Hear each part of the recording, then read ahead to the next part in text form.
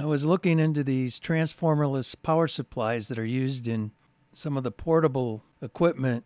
This particular one here, I believe, similar to what they use in the Kill A Watt measuring device.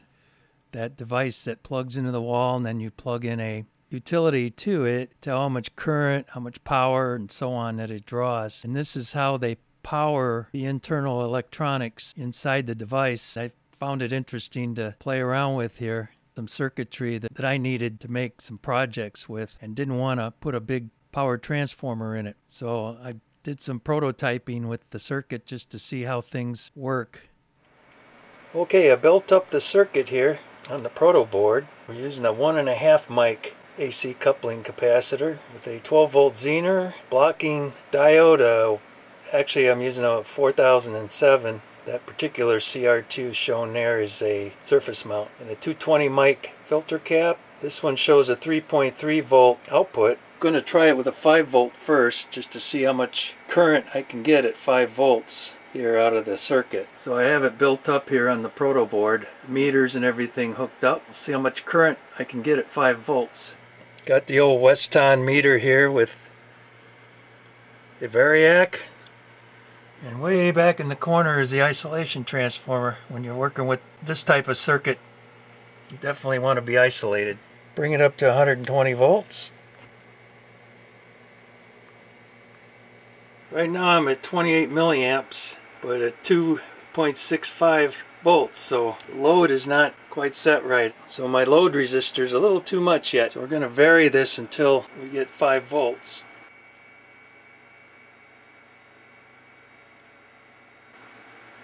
So it looks like the max would be 25 milliamps at 5 volts using this circuit. So next I'm going to increase the, the input capacitor here. I'm going to double it. Right now it's 1.5 microfarads. So I'm going to double it and then we'll see how much current we can get at 5 volts. Okay, I've doubled the capacitors. So now it'll be equivalent to 3 microfarads off the AC line coming in.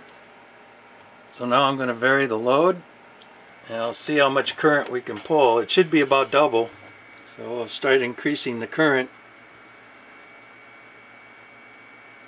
until the 5 volts starts to drop.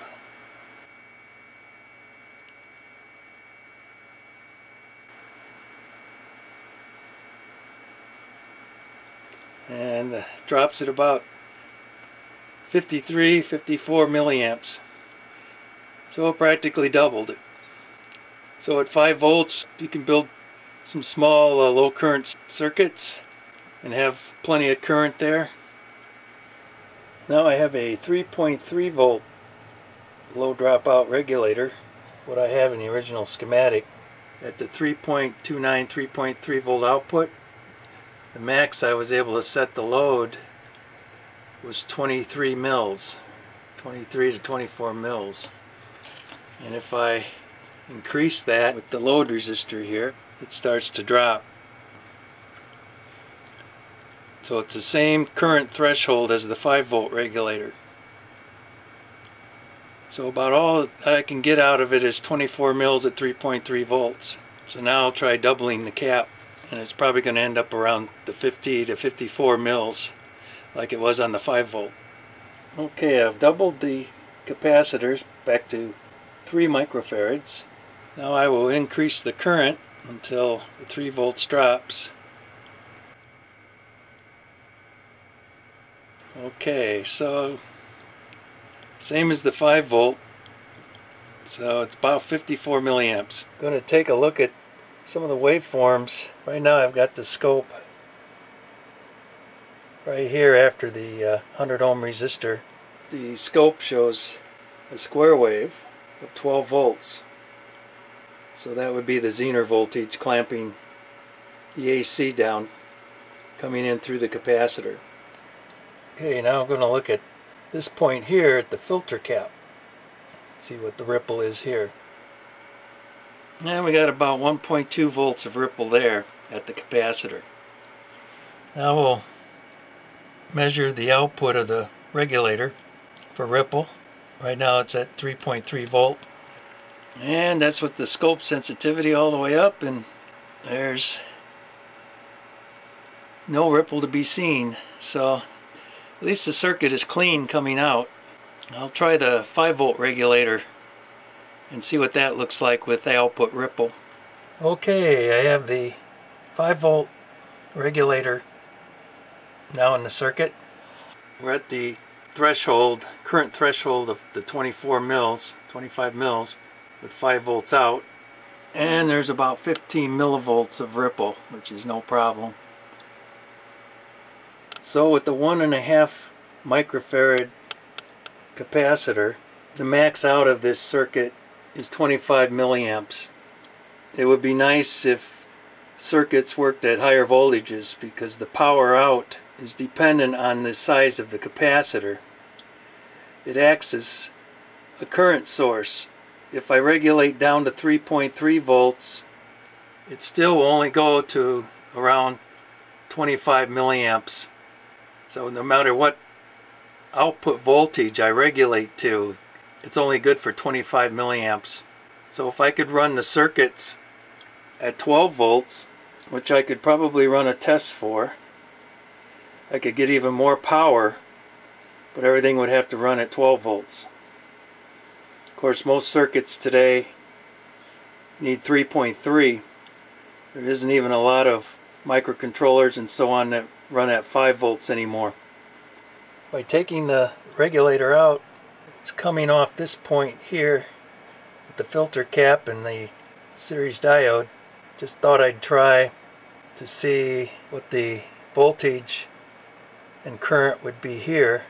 There'll be more ripple of course. We don't have this regulator to drop some of the ripple down but anyway it'll be an interesting test.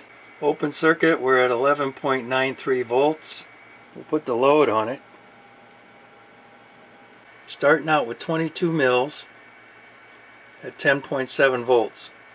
So if we adjust it to the 25 mils, which was the point of it collapsing with the 3.3 and the 5 volt regulators, and we can maintain 10 volts for quite a while here. Now it's starting to drop quite a bit. My load is going open here a little. can go a little higher without the regulators. Maybe 28 is a safe bet there. The ripple here is pretty high. So that cap would have to go quite a bit bigger if you were to come off the circuit directly to operate at a little bit less than 12 volts. I built this little light sensor circuit. It uses the cap coupled power supply off the line here about the same as the prototype I showed for 3.3 volts out. This circuit uses the AC switch I showed in another video with two SCRs and an opto in between. And this switch is 120 volts on and off. This micro senses a, a photoresistor, which is hooked to the input of the micro. I made this just for Christmas lights so it could sense darkness and lightness outside and it would turn the Christmas lights on and off. Also have a spot here for a opto as a relay. This all works on the 25 milliamps that's available here with a one and a half microfarad capacitor because the micro is pretty low current so there's not much current draw and these LEDs are only like a mil inside these optocouplers. This is the PC board for that project. You have the two SCRs here driven by the optocoupler, the little microcontroller, and the AC capacitor, input capacitor. And this circuit has to be isolated, of course, because it's hot to the line. These mounting holes are isolated from any of the circuitry on the board this is kind of the final prototype of the project for the light sensor. The light sensor's right here. You see, you get a red LED when you block the light to it. I wrote the software so when you start getting dusk or dawn, this could become kind of intermittent and you wouldn't want the lights flashing all the time. I think I got 30 seconds hysteresis in here. it has to actually be dark for 30 seconds. So once that LED stays on for good, the light will come on and stay on. And then the reverse is true. There, the light came on. Then the reverse is true when there's light coming back into the circuit. It will shut off.